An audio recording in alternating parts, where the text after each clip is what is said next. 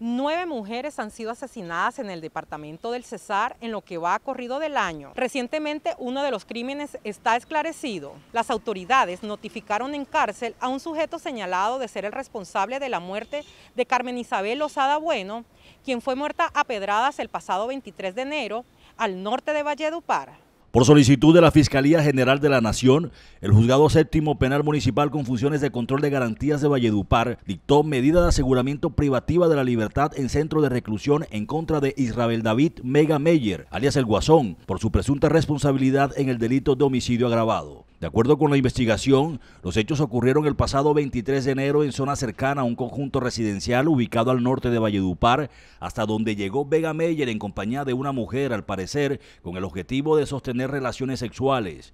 Logramos a través de prueba técnica conocer quién era el agresor. Esa persona ya estaba capturada previamente por el delito de hurto, había cometido un atraco en, en cercanía al Colegio Hispanoamericano.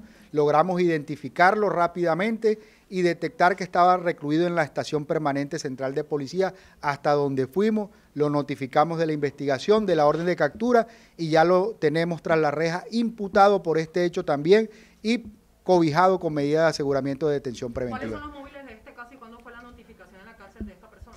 Concretamente el móvil que la investigación preliminarmente ha establecido indica que esta persona sostenía una relación de amistad con Carmen Isabel Lozada Bueno y Carmen eh, le había anunciado que había una organización criminal pagando 5 millones de pesos por su captura o por su asesinato, porque este sujeto al parecer le había robado un dinero a una organización criminal conocida como Los Paisas y la organización lo andaba buscando.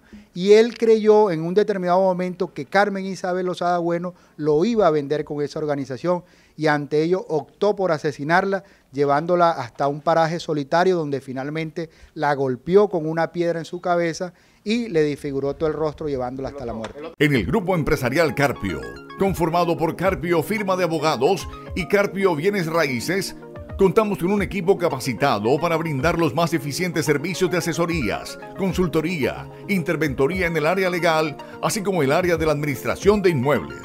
Estamos ubicados en la calle 9A número 1557, en el barrio San Joaquín. Contáctanos al 316-666-1017.